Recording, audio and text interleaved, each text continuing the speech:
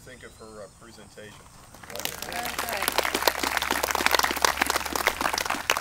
My name's John Dolan. I'm the uh, president of the Vermont Institute of Natural Science, and uh, really appreciate all of you joining us this morning.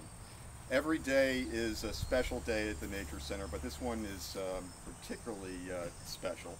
We have here today, um, and you've, you've, already heard from uh, one of them, three generations of supporters of the Vermont Institute of Natural Science. Uh, Sarah is uh, an intern with us, an education intern with us this summer. She's been a camp counselor in past years. I think you also were a, a camper at one point, weren't you? Yeah. So Sarah, Sarah, as you can see, has benefited from VINS for quite a while. But it's not just uh, Sarah who has been um, a participant in and a supporter of VINS. It's her whole family, going back to her grandfather, uh, Robert Sincerbeaux, who was one of our uh, early trustees uh, more than 30 years ago. And um, unfortunately, he passed away a few years ago, but we have here today uh, Sarah's uh, grandmother, Elizabeth Sincerbeaux, is with us, and her parents, um, Anne Sincerbeaux and Charlie Sincerbeaux. And um, Vins is uh, going into its 40th year, and um, it's it's wonderful to be able to have uh, that sort of uh, intergenerational following and support. And I hope that uh, maybe in, in the audience today we, uh, we have the beginning of some of that for our next 40 years. But the, uh, the special event right now is uh, the release of an American Kestrel. And I'm going to let Sarah explain the, the story of the Kestrel. But I just want to comment that one of the things that we do here at the Nature Center, which is not um, always apparent to the general public, is we run a, um, an animal re rehabilitation hospital. Uh, we are, uh, at Vermont Institute of Natural Science, I think we are the premier uh, avian rehabilitation clinic in New England. And uh, we take in uh, birds, uh, often raptors, the large birds of prey, that have been severely injured or otherwise um, found sick or, or ailing in the wild. And our rehabbers who have the best skills in the business, uh, rehabilitate them and bring them back to a point of health where they can be released back to the wild. And this kestrel that you're about to see uh, go back to the wild is uh, one of our uh, most recent patient success stories. And I'm going to let Sarah tell you about him before uh, she releases him. All right.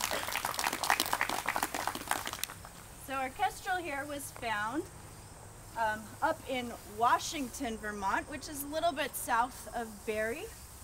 And he was hit by a car. And he suffered, when he came in, he presented with um, disorientation and central nervous system um, damage. So we weren't sure if he was going to be able to be released or not. Um, he's still a juvenile, so he was pretty young as well. Uh, but he came in what's the exact date? In early September. September, or I mean early July. I'm getting way ahead of myself. Uh, July 11th is when he was admitted. And so pretty much exactly one month, almost to the day later, he is ready to go back into the wild. So kestrels are the smallest member of the falcon family. They're really fast. So once I let him go, he's probably going to get away from us pretty quickly. So keep your eyes on him.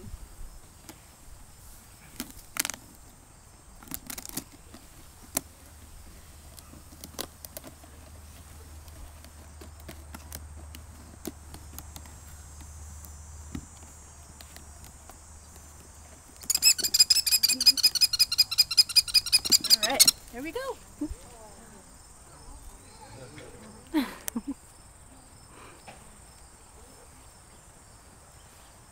Probably circle a little, get his bearings, and then head out.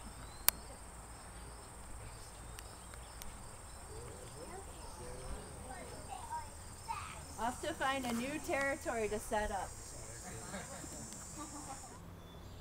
Hi, I'm Sarah from the Vermont Institute of Natural Science. What you have just seen is one example of the more than 400 birds that VINS cares for each year. As a 501c3 not for profit organization, we depend on your support to provide the medical treatment these birds require to get them healthy and back into the wild. In addition to our on site avian rehabilitation facility, Vin's Nature Center in Quechee, Vermont proudly displays an impressive collection of live raptors, songbirds, and other animals for you to see up close. With 47 acres of diverse natural habitats, the Vin's Nature Center offers a host of educational programs and special events enjoyable for people of all ages. For the latest information on the birds in our care, a list of our current Nature Center programs, outreach opportunities and events, or to contribute to VINS so that we can continue our important work, please visit our website at vinsweb.org or call 802 359 5000 for more information.